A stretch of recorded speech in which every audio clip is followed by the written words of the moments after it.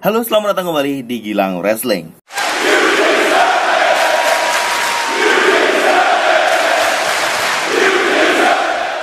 Payback baru aja kita saksikan bersama-sama dan banyak yang memang e, merasakan ke meriahan dan keseruan dari pay-per-view payback yang hanya butuh build up selama satu minggu saja untuk beberapa match ya. Dan ada beberapa match juga yang sudah di build up dari jauh-jauh hari sebelum SummerSlam dengan dan gak dapat spot di SummerSlam akhirnya dapat spot di payback. Ada match juga yang sudah diumumin jauh-jauh hari sebelum SummerSlam dan juga sudah dilaksanakan di payback. Banyak nih dari beberapa match ini yang memang uh, mendapatkan uh, atau meraih beberapa ekspektasi dari banyak fans yang memang sudah menantikannya. Banyak yang sudah memprediksi, saya lihat ya prediksi-prediksi match itu ternyata banyak yang bener gitu prediksinya. Saya nggak mau prediksi lagi kemarin karena sudah tahu di SummerSlam saya nggak bisa memprediksi ya. Ya udah saya mau mengulas aja bagaimana pay-per-view payback 2020. Mari kita langsung aja yang pertama kick off show ya. The Riot Squad yang baru aja reunite si uh, Ruby Riot sama Liv Morgan lawan Billy Kay dengan Peyton Royce di Iconics dimenangkan oleh The Riot Squad. Dan uh, matchnya juga nggak begitu memang tujuannya untuk mau membuat sebuah sesuatu impact besar untuk acara itu ya karena memang match ini hanya untuk mereunite si Liv Morgan sama Riot Scott dan memang untuk membuat uh, hubungan mereka lebih baik lagi dan seperti kita ketahui di SummerSlam ini eh di SummerSlam di Payback ini yang uh, tag team champion si Bailey sama Sasha kalah lawan uh, Shayna Baszler sama Nia Jax kemungkinan kemungkinan kah apakah uh, Riot Squad akan bisa meraih untuk mendapatkan title match untuk Women's Tag Team ini juga akan menambah lagi ya kasanah dari uh, tag team division untuk woman di WWE pastinya.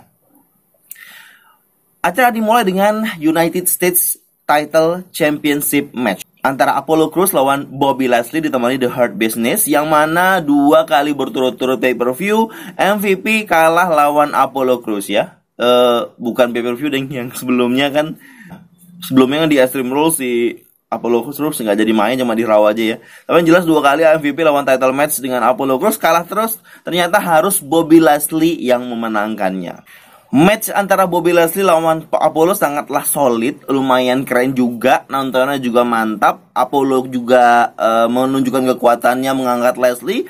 Leslie tapi terlalu kuat untuk dikalahkan oleh Apollo Crews dengan full Nelsonnya mengalahkan Apollo Crews dan menjadi new United States Champion. Banyak fans merasa ini kok terlalu cepat sih Apollo Crews kehilangan uh, championshipnya di dalam sebuah match ya.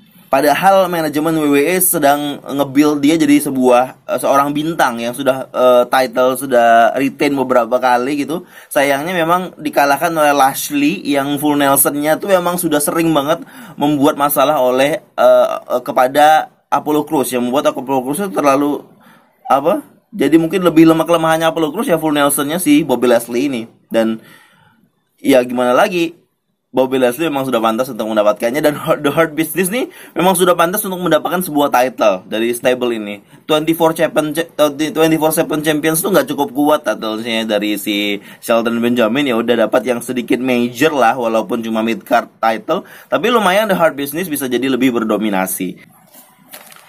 Match berikutnya ini sebuah feud yang memang di sudah diangkat sebelum SummerSlam kayak sekitar satu atau dua minggu ketika Becky memang harus menjadi solo karir ya ketika ditinggal oleh dua member New Day yang sudah injury. Tapi Becky masih eh, sehat-sehat uh, aja masih sehat walafiat tapi uh, siap untuk membuat mendapatkan sebuah feud. Dan feud pertamanya Becky sebagai solo karir setelah New Day adalah melawan Sheamus yang setelah feud dengan Jeff Hardy mungkin sudah uh, ya udah selesai feudnya gitu rivalry-nya ya.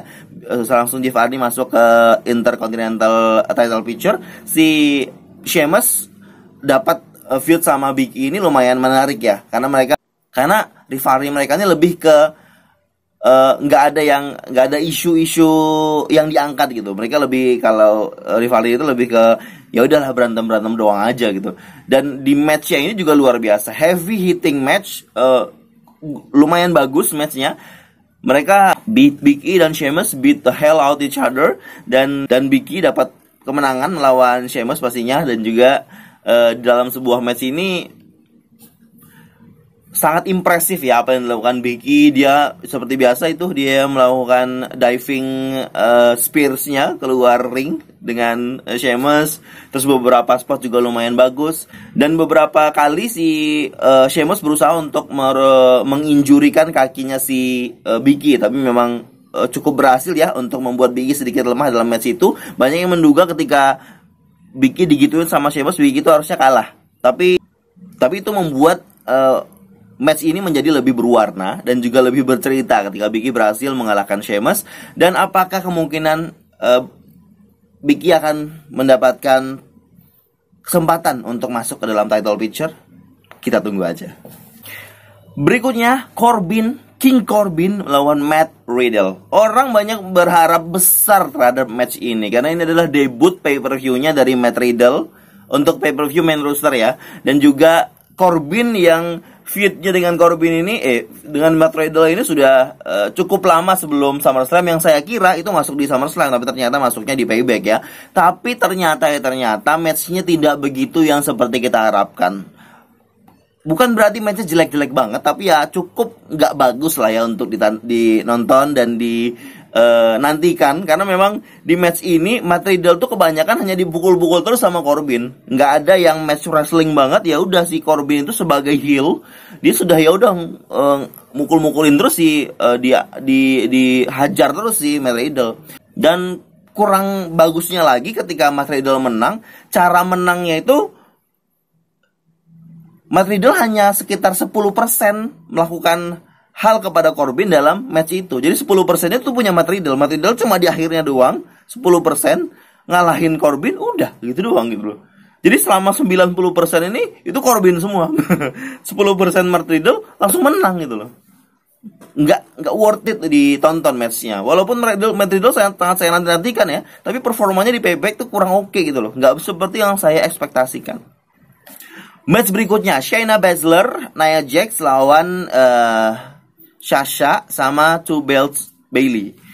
Dan lagi-lagi memang dari SummerSlam, dari sebelum SummerSlam kelihatan banget memang di payback ini bakal ada sedikit eh, bumbu-bumbu perpecahan ditambahkan kepada uh, Bailey sama Sasha. Walaupun dalam matchnya nggak kelihatan nih Bailey sama Sasha ini lagi berantem, lagi musuhan atau lagi iri-irian. Soalnya Sasha sama Bailey mainnya bagus biasa aja gitu loh uh, kayak biasa mainnya tag team uh, partnershipnya terus juga beberapa kali movesnya bareng juga tetap masih solid gitu kayaknya tag teamnya.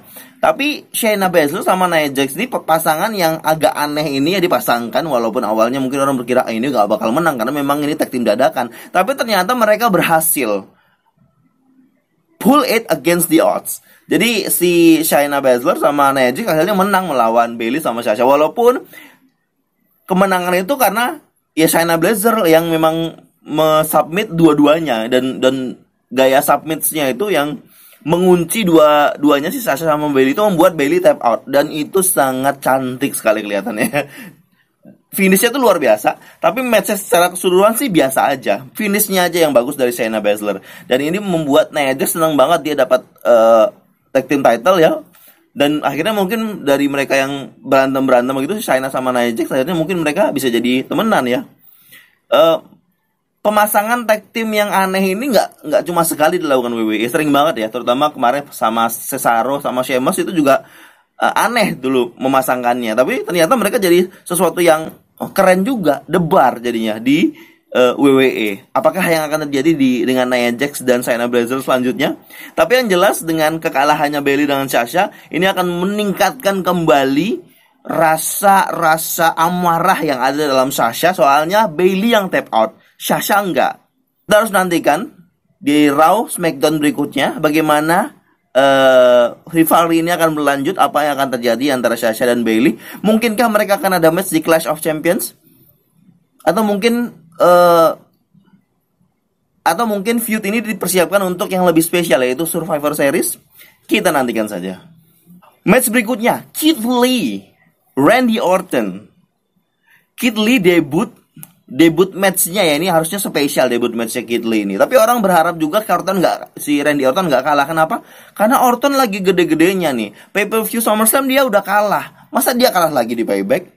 Tapi ternyata ya ternyata ternyata ya ternyata Kit Lee yang berhasil memenangkan match dengan uh, finishernya kayaknya nggak matchnya nggak begitu panjang gitu ya. Tapi dengan kemenangan Kit Lee ini membuat uh, or dua hal Kit Lee jadi lebih kuat, Orton jadi kayak jadi kayak sampah lagi gitu loh. udah build uphillnya bagus-bagus, udah lama sebelum SummerSlam kalah lawan Drew. Udah build up lagi satu minggu kalah lawan orang yang mau debut.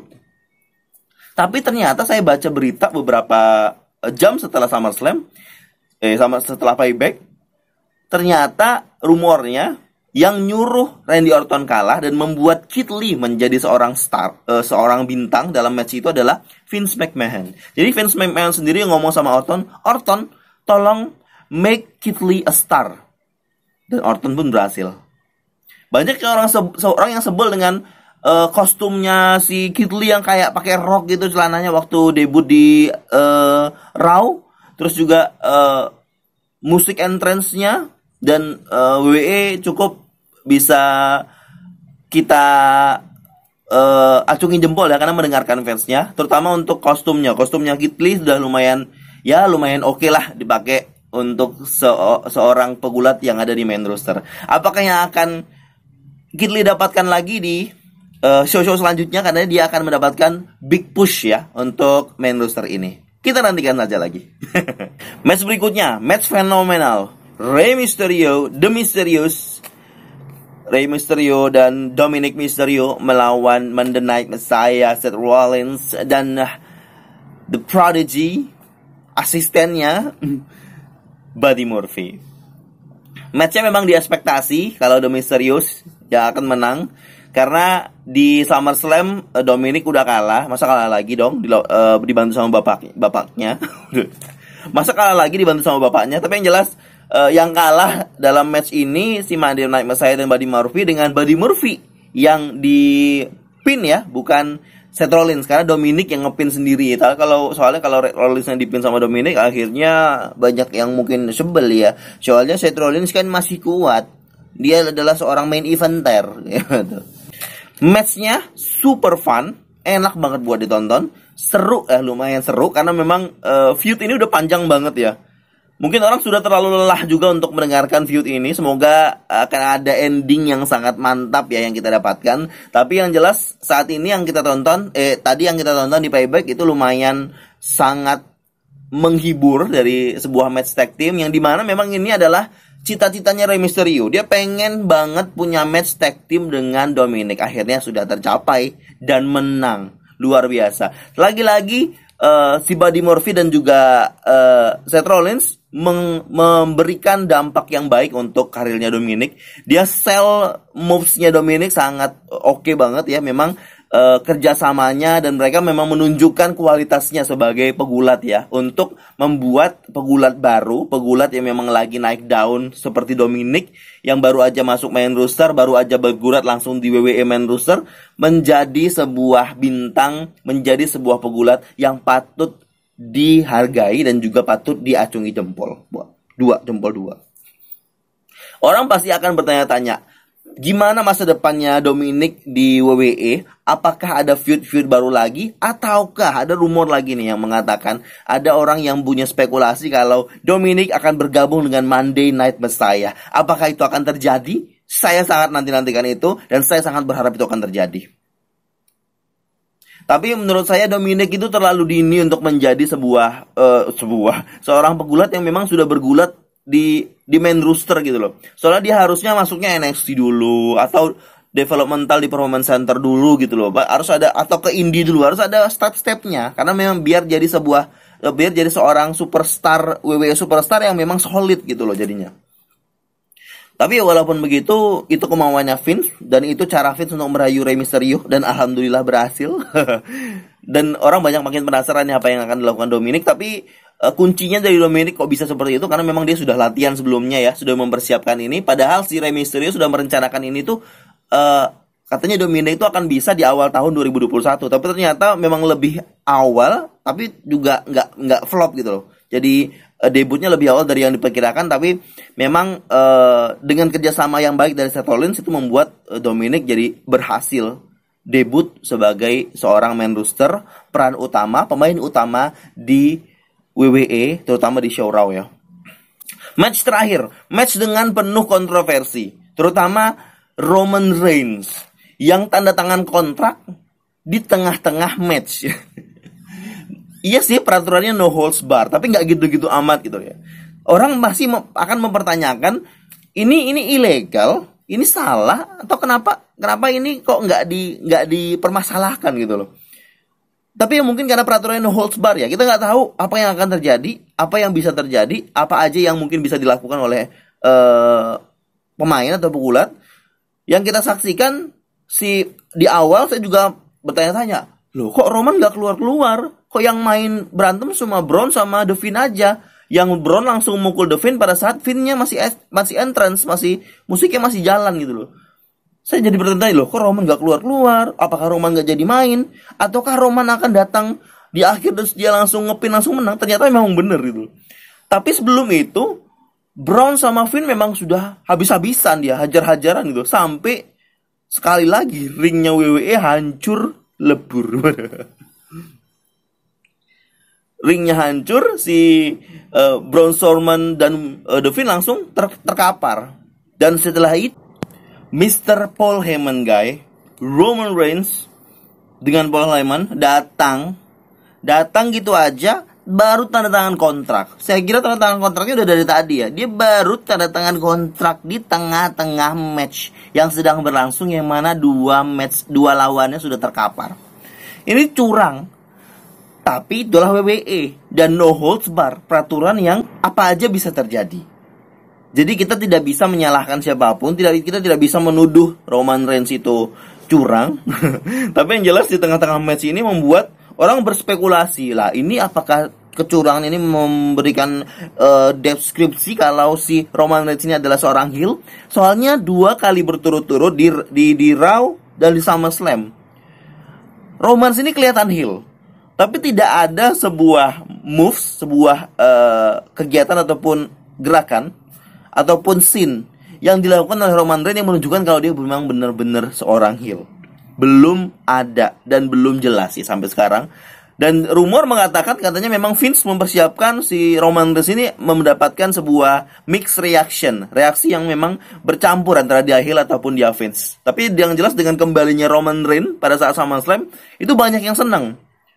Mungkin kalau dia kembali pada saat fans masih banyak dan dia nggak ada uh, hiatus, dia nggak ada uh, keluar di WWE beberapa saat kemarin, pasti orang ketika Roman Reigns datang dan dia langsung menang pasti dibu. Bu. Tapi yang jelas kemenangan Roman Reigns ya setelah dia datang di, tengah-tengah dia kasih spear si Braun Braun dipin akhirnya si Roman Reigns yang menang dapat Universal Champions. Ini banyak yang senang gitu loh. Memang corona membuat kita semua menjadi sosok yang aneh ya yang tidak bisa kita pikirkan kita akan seperti ini soalnya orang senang sama Roman Reigns menang Universal Champion itu karena orang rindu sama Roman Reigns. Beberapa bulan meninggalkan kita di tengah corona, akhirnya dia kembali lagi di SummerSlam dan juga payback dia menang. Orang senang gitu. Walaupun dengan cara dia menang dan cara WWE booking si Roman Reigns ini bikin kesel gitu loh ya. Dengan match yang di mana lagi rame-ramenya si Devin sama Braun itu lagi brawlnya luar biasa. Roman Reigns datang gitu aja dan langsung menang ini kalau di hari-hari biasa fans pasti sebel banget. Mungkin ada hashtag cancel WWE Network ya. Tapi sekarang tidak terjadi karena orang senang dengan Roman Reigns, rindu dengan Roman Reigns dan tahu Roman Reigns seorang Paul Heyman guy dan juga akan memberi dampak untuk WWE ke depannya. Good job deh untuk WWE, luar biasa. Terlepas dari kecurangan yang dilakukan oleh Roman Reigns dan Paul Heyman dengan menandatangani kontrak di tengah match di mana dua lawannya terkapar, matchnya sendiri dari Braun dan Finn yang sajikan yang di SummerSlam sedikit menurunkan ekspektasi kita untuk payback ya, tapi lumayan keren dan juga mantap untuk no holds bar di payback ini. Dengan robohnya ring, pastinya akan membuat main event ini sangat-sangat spesial. Padahal uh, si si si ini Devin gak cukup gak cukup gemuk ya untuk menghancurkan ring. Harusnya ya seperti yang dulu-dulu tuh Mark Henry kalau nggak Big Show harus terlibat atau Strowman harus terlibat untuk menghancurkan ring. Tapi dengan Finn menga, me, menjatuhkan Roman eh, menjatuhkan si Braun dari atas uh, ujung ring dan menghancurkan ring ini membuat uh, saya beranggapan kalau ringnya sekarang sangat lemah ya.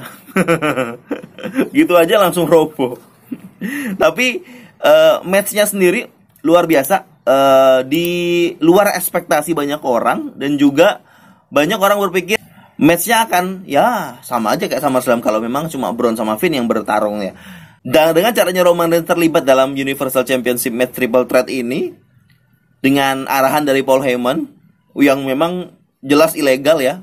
Ya mungkin ilegal nggak tahu juga sih. Tapi ini memang meningkatkan status ataupun karakter dari Roman Reigns sendiri sebagai seorang heel.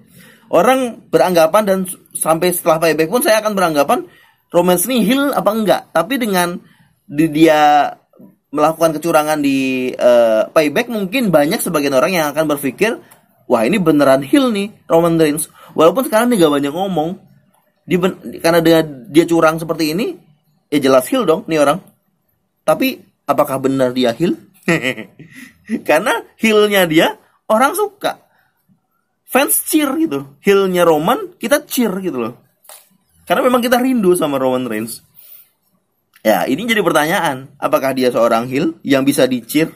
Ataukah dia seorang heel yang gagal? ya udah, itu saja review saya, pendapat saya pribadi terhadap uh, Payback 2020 yang menurut saya keseluruhan show-nya lumayan oke, okay, lumayan mantap. Ada beberapa match yang ya flop, gagal, nggak nggak oke okay ya. Ada yang match yang memang beyond expectation, ada yang biasa aja, ada yang cukup spesial. Begitu dan pastinya kita akan menantikan apa yang akan uh, disajikan oleh WWE di pay-per-view selanjutnya yaitu Clash of Champions yang akan ada di tanggal 27 September 2020. Saya rindu sama gimmick match ya karena setelah uh, setelah Extreme Rules, SummerSlam sama di SummerSlam dan Payback ini kita nggak dapat sebuah match yang gimmicknya seperti gimmick zaman awal-awal Corona. Saya merindukan itu. Mungkin apakah Clash of Champions kita akan disajikan oleh match yang ada gimmicknya lagi? Sepertinya tidak ya. Oke segitu aja terima kasih boleh setuju atau tidak. Terima kasih teman-teman sudah menonton ulasan Payback 2020 di channel Gilang Wrestling. Support dengan subscribe. Terima kasih. Silahkan komen kalau mungkin ada pendapat lainnya terhadap match-match yang terjadi di Payback 2020. Saya Gilang. Tadi Gilang Wrestling.